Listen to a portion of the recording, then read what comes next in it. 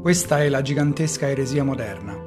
Modificare l'anima umana per adattarla alle condizioni, invece di modificare le condizioni per adattarle all'anima umana. Gilbert Keith Chesterton. Cosa c'è di sbagliato nel mondo? Le parole della fede. Una produzione Radio Più Roma.